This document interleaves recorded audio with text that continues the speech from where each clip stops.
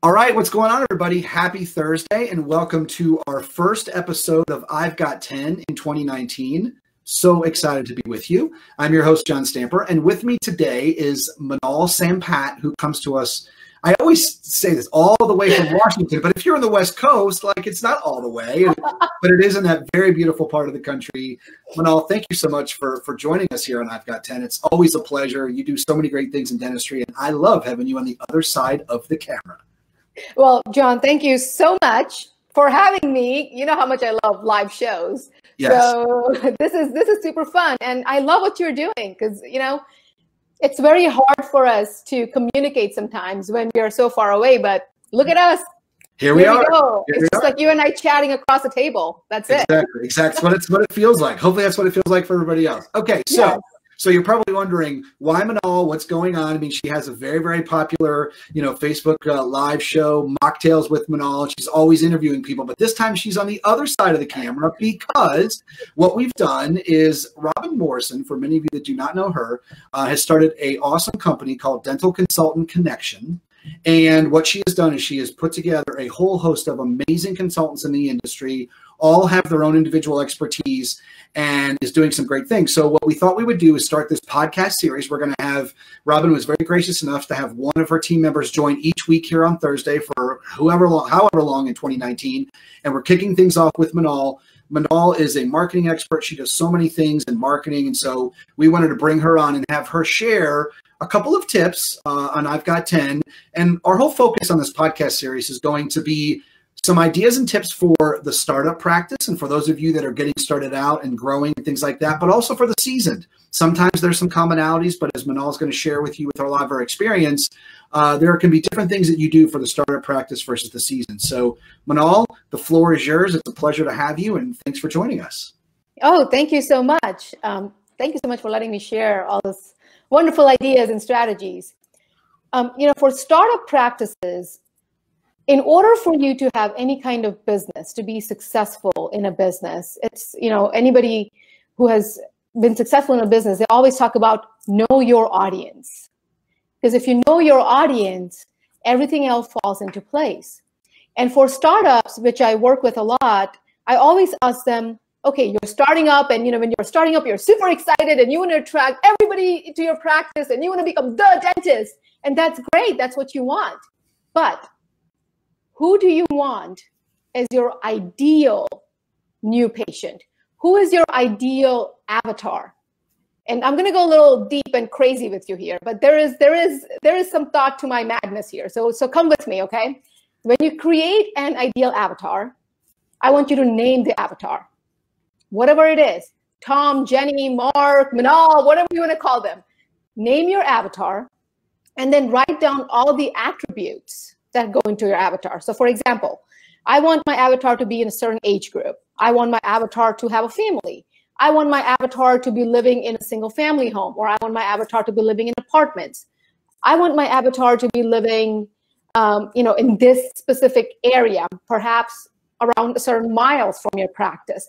They need to be spending money at these places. They have to be going on vacations, or I need them to be going shoe shopping, whatever it is that defines your ideal audience, your ideal avatar is where you start.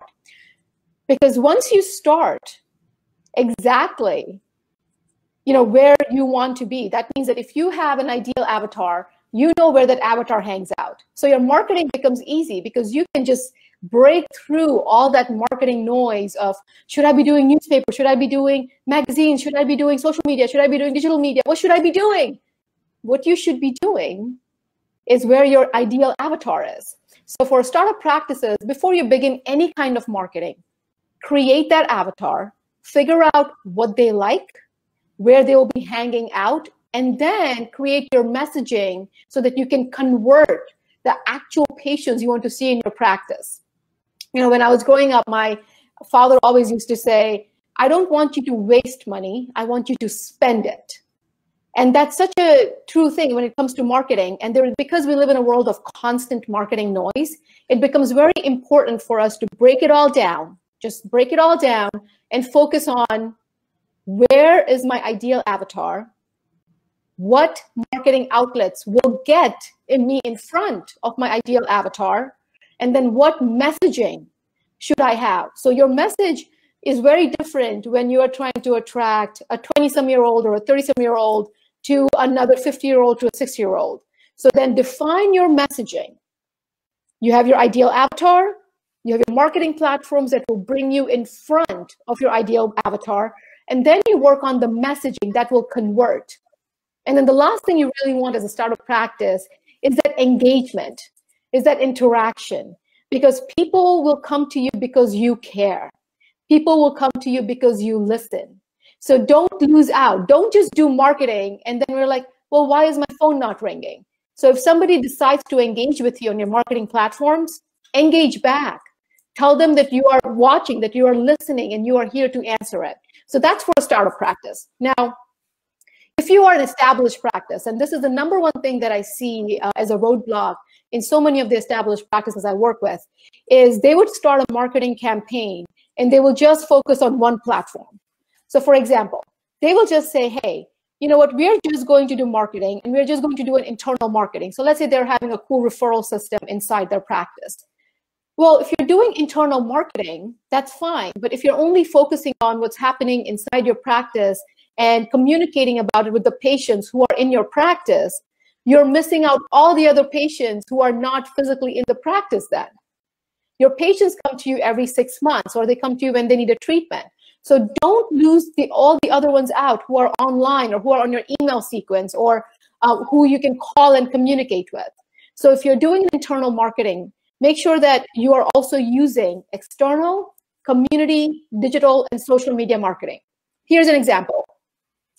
Let's say that you are doing this awesome whitening, you know, it's it's January, new year, new smile kind of a deal, and you want to really focus on doing a whitening campaign. And you start internally. So internally, you want to make sure that you have a beautiful flyer of what the whitening services is. You want to make sure that there is, in, even if you have an L banner, something like what John has, if you see behind him, he has a banner with logos on it, right? It's called an L, L banner. An L banner is something that pulls up and you can have it directly in your waiting room. Perhaps you have a bulletin board. Perhaps you have something in your waiting room, and if you don't, you should have something in your waiting room that shows what's going on in your practice. What is that big campaign you're focused on internally? You also need to make sure that your team knows what's happening. As a hygienist, there have been so many times where maybe I was not involved or not told what is going on in the practice. And guess what? I have an hour, at least 45 minutes to an hour with a patient. So if I know what's going on as a campaign in the practice, especially if it is something clinical like whitening or a procedure, you bet that I should know about it so I can tell my patients about it. So your team should be involved, clinical and admin team, internally with any marketing campaign you have. So if you're whitening, have your team be involved in it. Tell them what's going on so that everybody can chat chatter about it, okay? And I even say make a big deal. So if you're doing a whitening campaign, go crazy in your office. You know what? People are visual. I want you to take uh, photos, you know, print out photos and get those, uh, you know how they have the ropes, drying ropes with the little clips put it around your office. Put how your entire office should look like a photo gallery of happy smiles white white white bright smiles and talk about it. Now the same thing you know so if you have the internal you have to focus on the external part of marketing as well. So external becomes a lot more with digital media and social media and how people are communicating about you. So once you have the internal marketing you have this whitening campaign. Do you have the same whitening campaign on your website can people easily find it? Once they have a whitening campaign on the website, do you have an opt-in? So if somebody is interested in learning about your whitening campaign, can they call you or can they opt in so they receive an email from you that talks about the whitening campaign? What is your lead capture? Okay, so you have it on your website, which is digital marketing, and you're putting it directly there. You can also put it on your online search engine pages. So for example, a Google business page, allows you to have a post. So go ahead and add that whitening post directly on your Google business page so that every time your page shows up, they will see what the running campaign is in your office. Now, the same thing goes with social media marketing. If you're doing a whitening campaign and you want to talk about it, again, it starts internal, but you want to talk about it on social media. So you're doing internal, you're doing digital, you're doing social media. You want to have happy, happy patients. And you can break down your social media. You can have testimonials. You can have live videos. You can have photos. One tip though, don't have photos zoomed in faces on social media because you cannot create them into an ad because it goes against the body image. So have a full frontal photo with a beautiful smile and a beautiful testimonial directly onto your social media. But here's the thing, in order for you to be successful, you also need to involve your community. Your practice exists in a location. Your practice is already somewhere where people know about you, right? So if you are doing internal now and you're doing digital, you're doing social, in your external marketing, include, I don't know how you have your signs right now, but perhaps there's a way for you to get a little banner or even to get a yard sign and talk about what your whitening campaign is. Because when people drive by your practice, they have to easily see what's going on. So whatever promotions there are, use them, include them in your marketing because people, you won't, I remember so much stuff when I'm driving down the road. I'm like, oh, I didn't know they were doing that. Oh, that's kind of cool. Don't lose out on that. Don't focus so much on social and digital that you lose out on your community marketing. Another thing that you can do with the whitening campaign, which comes to community marketing with businesses, is reach out. Who, who wants whitening? Usually, brides, graduation, um, any kind of event coming up. So why not go to spas and nail salons and bridal salons and talk to them about whitening and say, hey, listen, we're having this amazing whitening campaign, and all the brides that come here who are looking for something, we'll give them a special discount on your name. You know, create that business relationship with them so that you have an audience inside your community, and this allows you. This allows you to be in front of other businesses in your community as well. So in order for you, if you're an established practice, if in order for you to really see conversions in your marketing, you have to have a cohesive plan. I literally write down whatever campaign it is and I break it down. What am I going to do internally? What am I doing externally? What am I doing, doing on digital media, social media, and community? And I go ahead and keep putting out those arrows and go to the bottom of it. Because once you have that cohesive plan, things should start to work. So that's my tip for a, a, practice that is already established. For the new practices, I want you to start with knowing your ideal avatar. Once you know who you want to attract to your practice, then we can talk about platforms, we can talk about your marketing messages. And you know what? You can use the same strategy for having a cohesive campaign as an established practice. So I hope that helped. Uh, definitely, if uh, if you want to, John, did you want to did you want to tell them where to find me? Absolutely, yeah. So uh, you can go out to uh, dentalconsultantconnection.com so you can learn uh, more about Minal, more about DCC. I'm also going to go ahead and put the phone number up there if you want more information. Uh, yes, people still do use cell phones, right? Minal, to call. I hope so. I hope yes, so. Not mine. I know that's kind of a new thing, right? It's easier to text or whatever, but uh, seriously, uh, 727 447 4756. Contact DCC.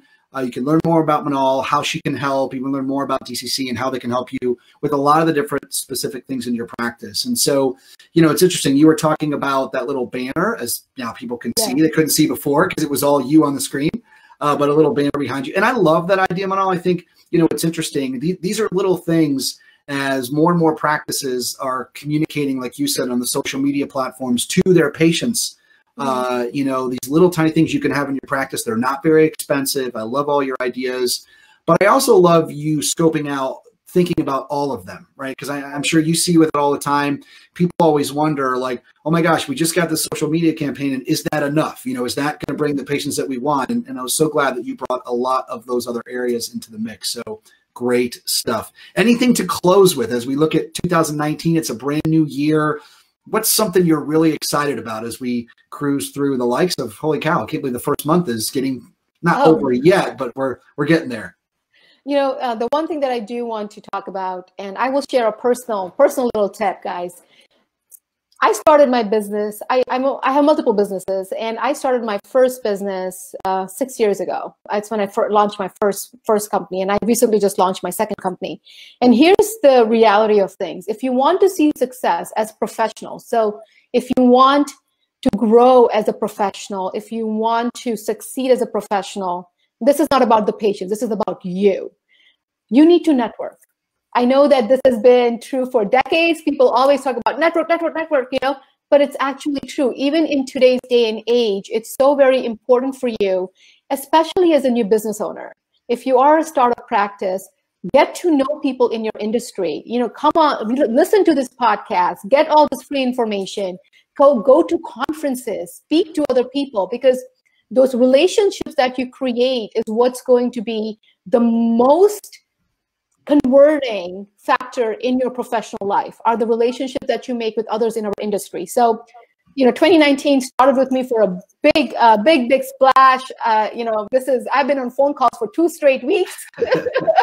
Already proposals going out. My entire january has been a month of just new clients because of the relationships that i've built and my ability to go to conferences and to communicate with people. So please do that no matter what level you are in your professional life keep networking you know, I'm so glad you mentioned that. It, it just got me thinking, Minal. It, it, seemed to be like years ago when you when you thought about the things that a dental practice would do in order to be able to grow their business and the marketing that was done, and maybe the marketing that would need to be done for a dental company. Very different things to do. Those worlds are now collided, right? And I think yeah. to your point, I think a lot of the when you talk about networking and and a lot of the things that you know someone like yourself and myself that mm-hmm. we're doing now all of those things can be done by everybody. And and it helps each individual business in their own right. So i love that idea. Networking is a great idea. Before we wrap i just wanted to uh, give a shout out to the sponsor of uh, the i've got 10 podcast TSYS they're one of the nation's leading uh, providers of payment processing and they have made a great promotion available i'm going to go ahead here and put it up here there's a link on the screen you can go out they've created a landing page uh, they've got a great team there, and most importantly, uh, check them out. they are making a $300 activation credit promo available to all of my listeners. But I will tell you, I spent some time there at their office in Charlotte. They love to just talk on the phone to a lot of dental practices all over the country and answer any questions for you in regards to what you're currently using. Is it working with payment processing? So many things are changing. As many of you know, credit cards, more and more patients are using them. So they can help out. And again, thanks, TSYS. And I want to give a big thanks to Robin Morrison and the DCC yeah. team and Minal for you. Uh, you're a oh, busy person, you. like you said, proposals everywhere. thanks, thanks for coming on. I've got 10. Uh, just to let everybody know, Minal and I are going to do an audio podcast, which will be on the Digital Trade Show, then audio podcast. So if you guys want to listen and learn a little bit more about Minal, she's a super interesting person. Uh, be sure to uh, download that on iTunes or Google Play. And with that, have a wonderful week. Thanks, Minal. Bye bye.